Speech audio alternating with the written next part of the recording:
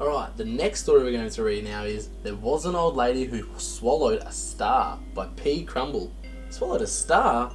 I want to find out what happened here. Let's go and have a look. There was an old lady who swallowed a star. I don't know why she swallowed the star. Now that's bizarre.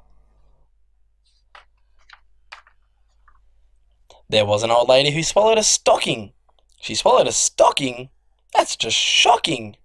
She swallowed that stocking to hang under the star. I don't know why she swallowed that star. Now that's bizarre. There was an old lady who swallowed an elf. She found him hiding behind books on the shelf. She swallowed the elf to fetch his stocking. She swallowed the stocking to hang under the star. I don't know why she swallowed that star. Now that's bizarre.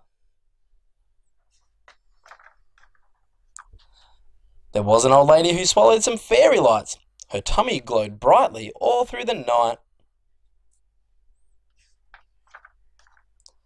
She swallowed the lights to give to her elf. She swallowed the elf to fetch his stocking. She swallowed the stocking to hang under the star. I don't know why she swallowed that star. Now that's bizarre. There was an old lady who swallowed a reindeer. The heartburn it caused was rather severe. She swallowed the reindeer to turn on the lights. She swallowed the lights to give to the elf. She swallowed the elf to fetch his stocking. She swallowed the stocking to hang under the star. I don't know why she swallowed that star. Now that's bizarre.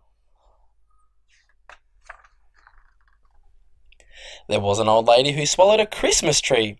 It was so delicious she ate it with glee.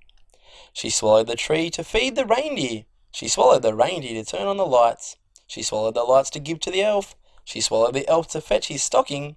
She swallowed the stocking to hang under the star. I don't know why she swallowed that star. Now that's bizarre. There was an old lady who swallowed Santa Claus.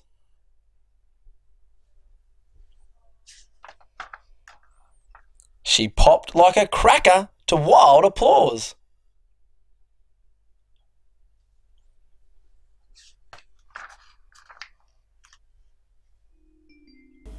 Wow, what a funny story. Did you think that lady was going to fit all of that inside of her? I know I couldn't fit that inside of me. Could you? No, that's too much, isn't it? Alright, well, until next time, bye for now.